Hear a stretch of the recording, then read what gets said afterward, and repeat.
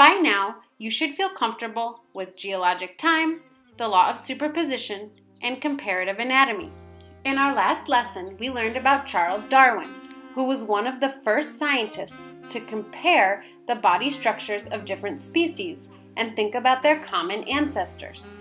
Today we'll learn more about a diagram that Charles Darwin created to show how species are related and share common ancestors. Let's look at an example together.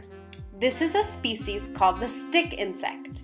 It has a trait called displaying bilateral symmetry, which means that its left side is the same as its right side. The next species is the goldfish. It's a vertebrate, which means it has a backbone just like us, and it also has bilateral symmetry. Here's another species, the dog.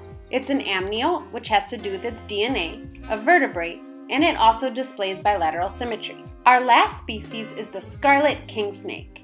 It is also an amniote, a vertebrate, and displays bilateral symmetry. Now that we've learned about some of the traits of these four species, we can begin to construct our phylogenetic tree. Bilateral symmetry is the only trait that the stick insect shares with these other three species, so I'm going to place it alone. Next, I'm looking at the goldfish. The goldfish has bilateral symmetry, and it's a vertebrate, just like the dog and the scarlet king snake. As I drag up the goldfish, I want to make sure it connects to the stick insect because they both share bilateral symmetry. Next I've got the dog and the king snake. They share these three traits with each other, so I need to make sure that they're connected on the phylogenetic tree.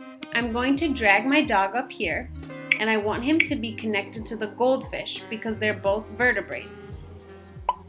Because the king snake shares all three traits with the dog, I'm going to put the king snake right next to the dog.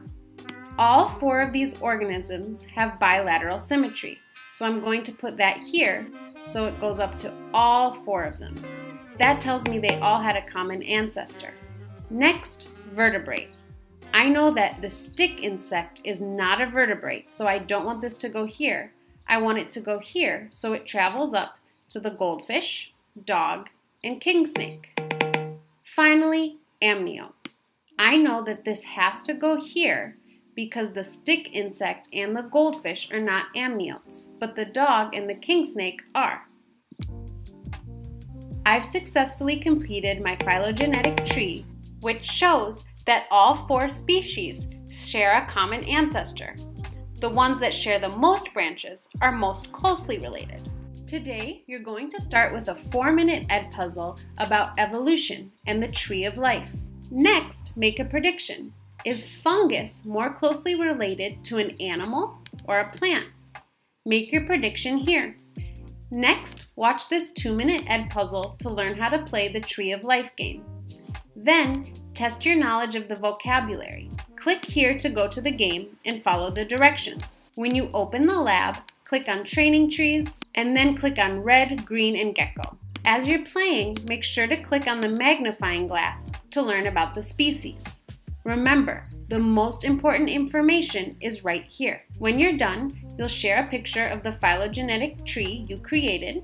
Then, use what you learned to make a claim and support it with evidence about whether fungus is more related to an animal or a plant. You have two new words to add to your vocabulary journal, and don't forget to reflect.